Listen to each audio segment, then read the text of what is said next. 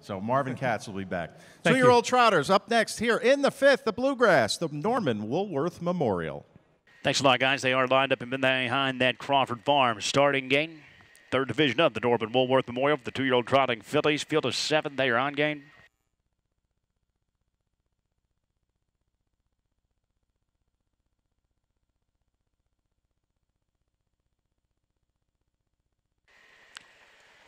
And they are off and trotting. Dancing Queen ahead of her. Left down quickly for Dunn. She's the lucky one.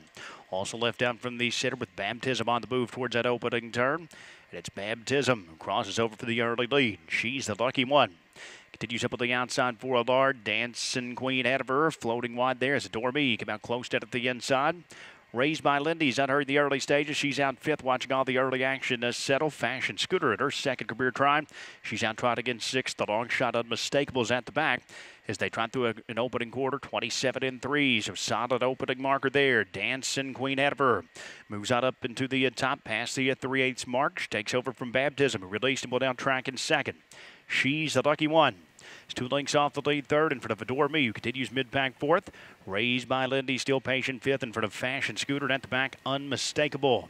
As they make their way towards the half-mile mark, and Zeron not content with the pocket. He wants Baptism on the point. So Baptism reclaims control from Dancing Queen Hediver as they move towards the far turn. Adore Me is out underway for Miller.